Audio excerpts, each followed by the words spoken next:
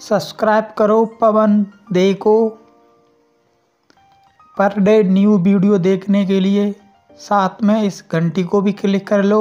आगे जो भी वीडियो आएगी उसकी आपको नोटिफिकेशन मिल जाएगी।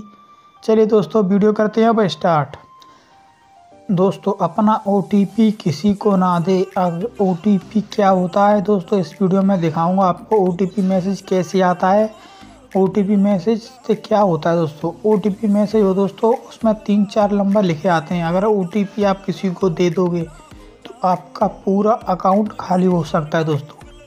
ये बात ध्यान रखें, अपना ओटीपी अपने डॉक्यूमेंट किसी को नहीं देने हैं। चाहे कोई भी मांगे, कोई भी कर्मचारी हो, अपने डॉक्यूमेंट किसी को नहीं देने हैं।